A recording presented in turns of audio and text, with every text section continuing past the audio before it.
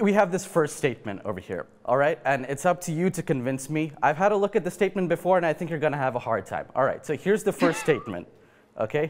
We are uh-huh. masters uh -huh. of our own fate. Now, this, this one is a no-brainer, right? I mean, we are masters of our own fate. I'm sitting in this chair because I chose to, and you're sitting there in Australia because you chose to.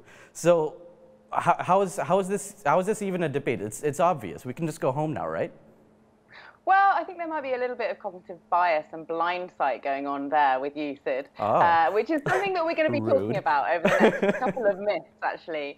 Um, so you might also be predetermined to be a little bit of a pessimist, maybe, maybe. We'll be exploring that one as well. Um, so as you said earlier, since the dawn of humanity, our species have been trying to figure out who or what is calling the shots.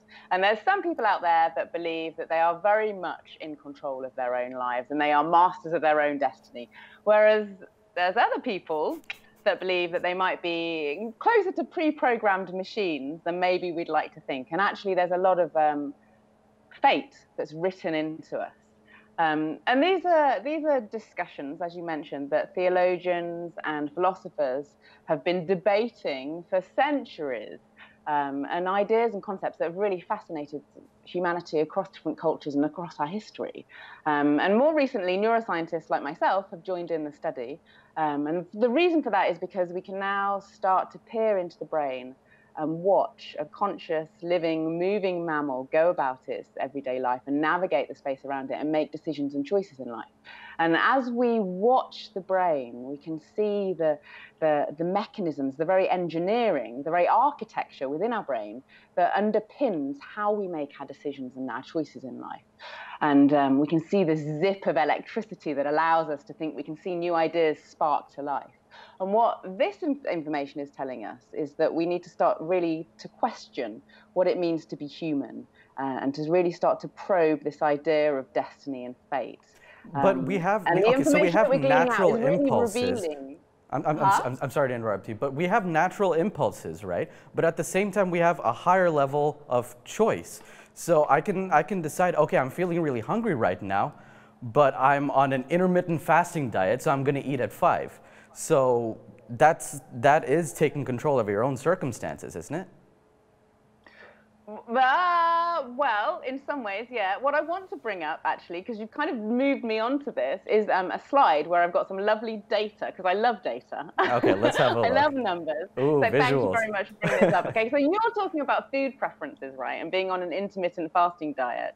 Um, so so what we've been finding out from lots of genomics uh, results and genomic studies, analyzing hundreds of thousands, if not millions of people, uh, for their 3.2 billion base pairs of unique DNA, which makes up their blueprint for life. Um, what you can see when you analyze this DNA, and it now takes, takes less than 30 minutes to sequence this 3.2 billion base pairs, and it costs less than $1,000 to do it. So, so there's huge swaths of the population that are undergoing this genomic analysis. And what you can tell from this analysis is that um, it's not just our bodily kind of um, kind of appearances like a height and an eye color, for example, that have this high heritable or genetic predisposition to it. Um, and it's not even things like our obesity levels, our um, body mass index, but also more complex behavioral types. For example, um, autism, schizophrenia, even our intelligence that has quite a high hereditary basis to it, even our socioeconomic status or our ideology or our beliefs even how long we will live or how resistant we might be to mental Ill, Ill health problems throughout our life. Um, so we're increasingly finding that there's a gen genetic basis to very complex behaviors. So you were talking earlier about um, food preferences and you're, you're trying to, so you might have a genetic predisposition to put on weight in particular uh, ways around your body and you're trying to nudge that back to a healthy BMI. You look very healthy, by the way. Well, thank you. Way. I wasn't fishing for that, but I appreciate it anyway. So you might have, um, you might be genetically predisposed to be on the larger side, and so, um, and a lot of people are, um, which makes then dieting in this world, this environment where we're living in now, where it's very easy for us to get calorie-rich foods, you know, just at a press of a delivery button, kind of thing, um, very difficult. But some people will find dieting much harder than others because of their metabolic, uh, genetic predisposition, if you like. Yeah, but if you're um, saying that we, are not masters say, of our own fate, then essentially what you're saying is that if you're on the larger side, it's going to be impossible for you to, to, to lose that weight or to kind of get your BMI down to what's considered a healthy level. So you're saying that that's not possible? It's, it's going to be, so you can change certain aspects of your personality. So you're leaping ahead to the next myth burn. you're getting ahead of yourself there. So what I wanted, what I wanted to say is that there's we've got this genetic predisposition within us. Each of us have these biological constraints, if you like. So there's some things that we are going to be naturally very good at, and some things that we're going to be naturally we're going to find them quite difficult. Um, and that they are the biological constraints that are written, written into our DNA. Now, the majority of those genes that are involved in higher biological kind of brain functions, behavioral functions, if you like, um, thousands of genes that are working in tandem, and they're usually genes that are involved in setting the circuitry for our brains, how our um, billions of nerve cells kind of wire up together as we're a baby in the womb. And there's been some incredible um, mm. developments in technology recently, which mean that scientists can now peer into the brain of a baby as that baby is still in the womb. Um, during pregnancy, during gestation, and they can start to image that neural circuitry um, being formed, the foundations for its brain being made. Wow. Um, at a very early stage in development. Um, and what they can see is that there's different anatomical signatures for different genes that are linked to ADHD, for example, or bipolar disorder or schizophrenia, even. So we're talking about symptoms that might not emerge for decades down the line. They can see that there's anatomical signatures, kind of fingerprints within that neural circuitry for that baby, even before it's born. So its okay. fate is in some way written into that neural circuitry even before birth. So there are some biological constraints which are given to us from mm. our DNA from which there is no real escaping. And so, so are we okay. completely yeah. masters of our own fate? No, we, we, each of us has limits or idiosyncrasies, right. if, you say, if you want. Maybe they're not limits. Maybe they're not you know, there, there are certain yeah. constraints, some things that we are going to be very good at, some things that we're, you know, we're going to struggle with. And actually, maybe it's better to accept that we are not fully in control of our own lives. And actually, there are some constraints there for each of us. And okay. that's okay. Maybe we should embrace these. Yeah, uh, let, us do that. Okay, fine. You've, you've convinced me, but more importantly, you've convinced the audience. They've been sending in those fire emojis like crazy. All right, fine. Round one, you win. Okay? So here's, here's the next statement. I'm very, I'm biologically wired to be competitive. All right, that myth has been burned. Let's look at the second one. So, we can change our personalities. Now, okay, I have, you, you brought visuals, I have visuals as well. So here's, here's my little challenge for you. Describe me in one word. Now? Yeah, right now. I, I don't know you. Um, handsome. Oh, thank you. Well, I'll tell you what. handsome, that, that, that's one personality trait. Guess what? I just became a legend, all right? I just changed my personality that quickly, okay? You, you, you can't convince me that this is, that, that this is a myth. I, am not sure what to say. I'm sure you're, you're a handsome legend. Yes, you are. but I literally just changed my personality in front of your eyes. According to who?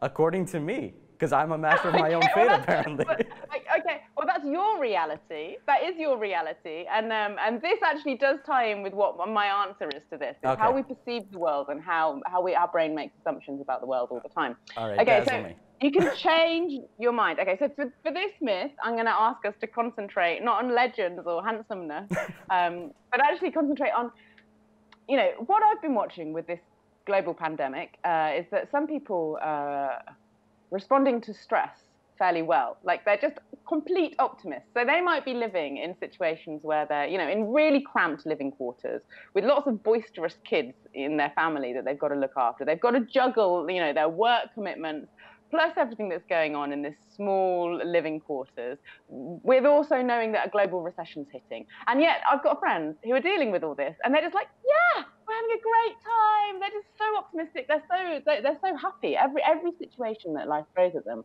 they will they will bounce back and find the positive in it.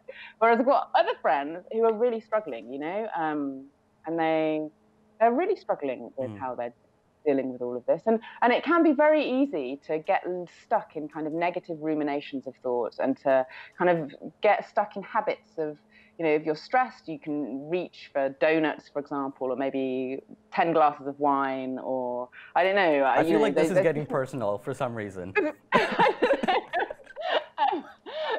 But yeah, there's, so there's different ways. Different, different people have different styles of reacting to different situations, and some people seem to be more kind of optimistic rather than pessimistic.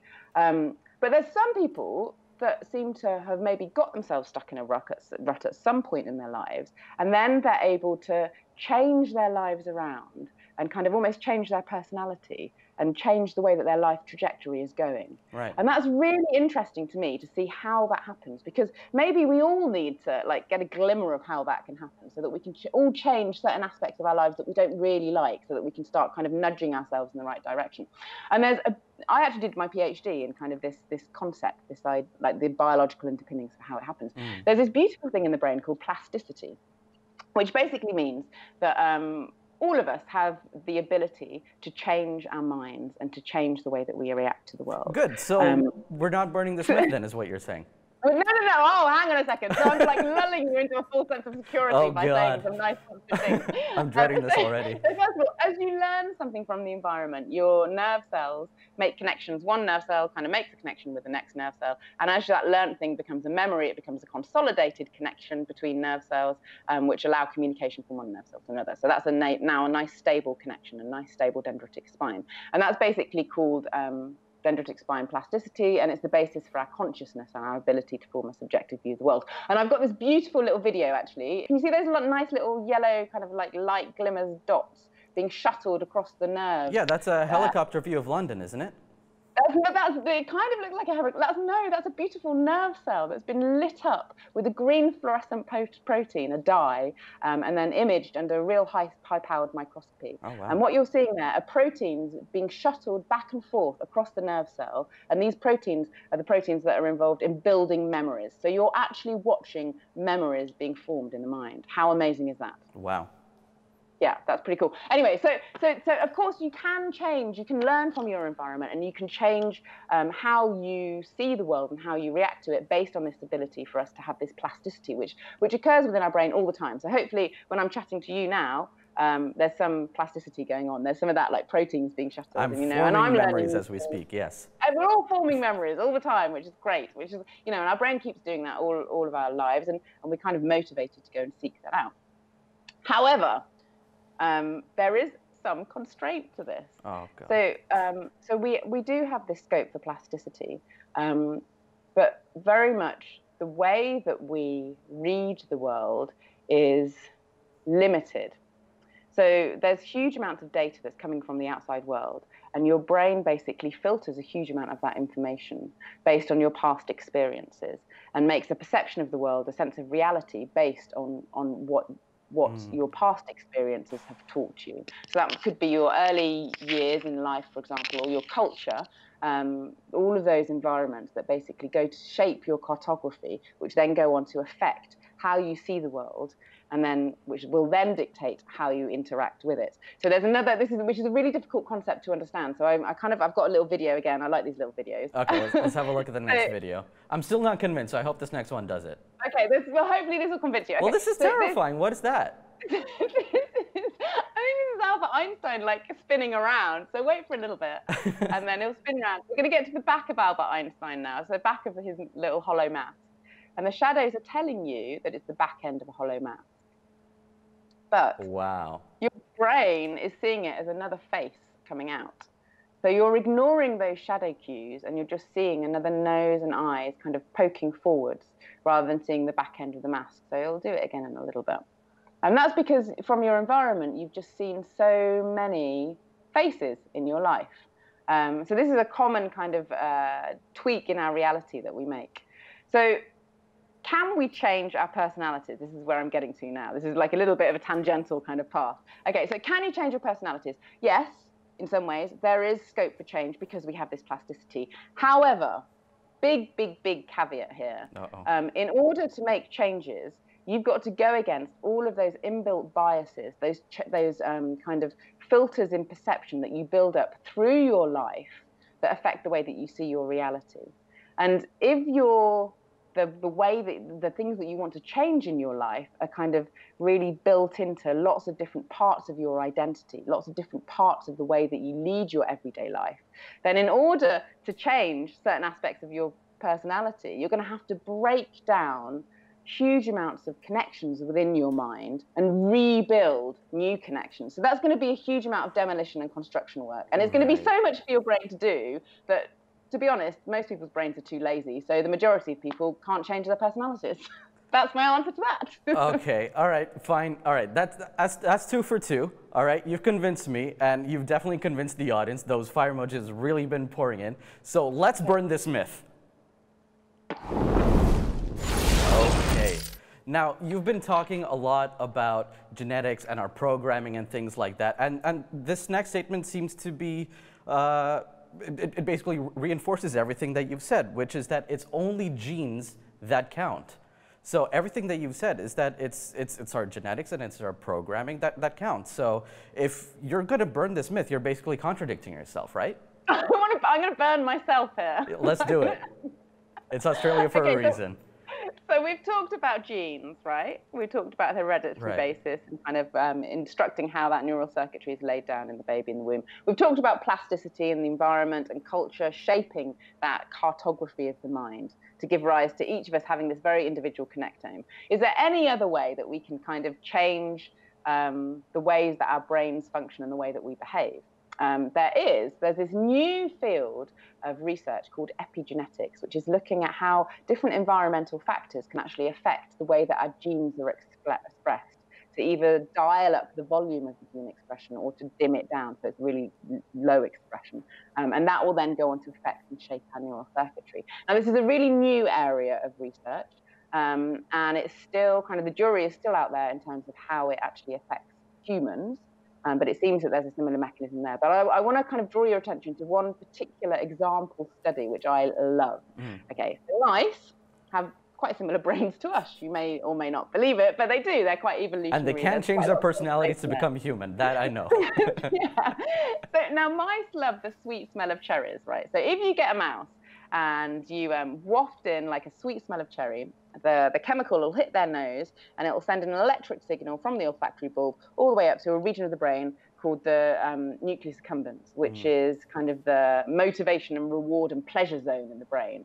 So that will light up with activity, there'll be dopamine released, and that will basically motivate the mice to scurry around in order to try and seek out this nice, nice cherry tweet. Treat, so they're sorry. smelling something that makes them feel good and they're trying to get to the source, is what you're saying. Exactly. Right, okay. Yeah, yeah, exactly. And this is an evolutionary ingrained kind of behavior. Now, what researchers wanted to do is they wanted to really mess with that evolutionary ingrained behavior. So, what they did, this is pretty mean, they um, paired a mild electric shock to these poor mice with the sweet smell of cherries. So, and very quickly, these mice started to learn that as soon as they smelt cherries, they would freeze up in anticipation of an electric shock coming. So they wouldn't be scurrying around looking for this nice little treat to nibble on. Instead, mm. that they would be kind of a bit petrified, just there waiting for the electric shock. Okay, so the researchers did that a few times. The mice learned very quickly using that beautiful plasticity mechanism of changing neural circuitry within the brain. But they should freeze up. So that's good. That's like a Pavlovian kind of conditioning. Type so that sounds so like parents really putting hot sauce on their kids' thumbs to get them, to get them to stop sucking their thumbs. Or maybe I just oh, had. Do they do that? Do well, parents uh, do that? No. A friend of mine told me something. it's kind of like that, yeah, which I don't recommend. but um, uh, yeah, so what the researchers did is they left, after they'd done that to, to these mice, they left the mice um, to lead happy lives with no electric shocks and no cherries nearby at all. And the mice settled down and they had families. Um, and there was no chili, chili sauce there either. There was no cherries, no chili sauce, no electric shocks, for their pups or even for the grandchildren of the original pups. Okay, so then wow. the researchers were interested. What's going to happen if they start wafting in the sweet smell of cherries now to these grandchildren of the pups? And interestingly, most of them were very, very hypersensitive and worried and concerned and freezing up in anticipation as soon as they started smelling this sweet smell of cherries. So the researchers were interested. How on earth had they passed on this traumatic memory across the two generations? Um, presumably, the mice hadn't been chatting to each other about this, like, you know, electric shock cherry trick because they hadn't actually been together that much. So there wasn't that, op that opportunity for communication. So that's a fear that's been passed down genetically. So it still is only genes that count then. That, but how is it passed on genetically? Because how, like how, this is what they were interested in. What mechanism passed it on? So what they did is they looked at the sperm of the grandfather, and there's no change in the um, sequence, the genetic sequence, because an, because a, um, an experience can't usually change the sequence of a DNA unless it's a mutagen, like a carcinogen that's going in and affecting it, right? So what, what is it about that experience that's actually changed the DNA? So it hasn't changed the sequence of the gene itself. What it had done is it changed the conformation of the gene. So DNA is kind of usually is in this beautiful helical structure, mm-hmm. and then it's wrapped up really tightly and tightly bound with lots of proteins, so that you can you can put those 3.2 billion base pairs into each one of our cells. So it's really tightly wrapped up in this amazing configuration that's quite complex. And what the experience had done is it actually changed the configuration of this gene and that that configuration change had meant that meant that enzymes couldn't access the genes in the same way. Wow. And so some genes were easily accessed and some weren't, and that changed the way that that neural circuitry was routed. So instead of routing it from the olfactory bulb to the nucleus accumbens, which is involved in pleasure, it rerouted the neural circuit to the amygdala, which is the brain region involved in fear.